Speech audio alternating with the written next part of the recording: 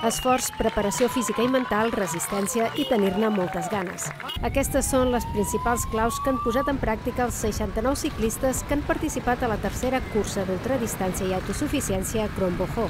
I és que la prova consisteix en assolir 1.385 quilòmetres en el mínim temps, amb un desnivell positiu acumulat de 24.500 metres. Els punts més dificultosos doncs et diries, evidentment, els Pirineus, per tot el desnivell que, que, que han acumulat, perquè bàsicament estàvem enllaçant un port rere l'altre, i també perquè hem tingut que fer front a condicions meteorològiques dures, molta pluja.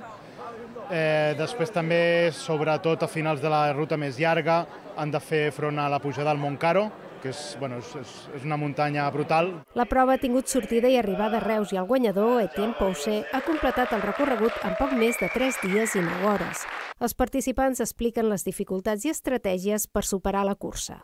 Yo creo que estar tanto tiempo con uno mismo, eh, porque son horas y horas y horas de solo estar como eh, pensando y, y, como no dejarse eh, abrumar por la distancia.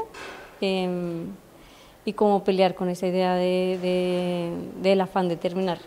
Pero una de las estrategias para superar eso es eh, pues como vivir el, el, presente, ¿no? Como estar muy consciente del presente. Mi estrategia en este tipo de cosas es siempre pensar que estar en la bici pedaleando, aunque vayas lento, eh, siempre estás avanzando más que estando sentado en un bar, en una, en una, en una silla.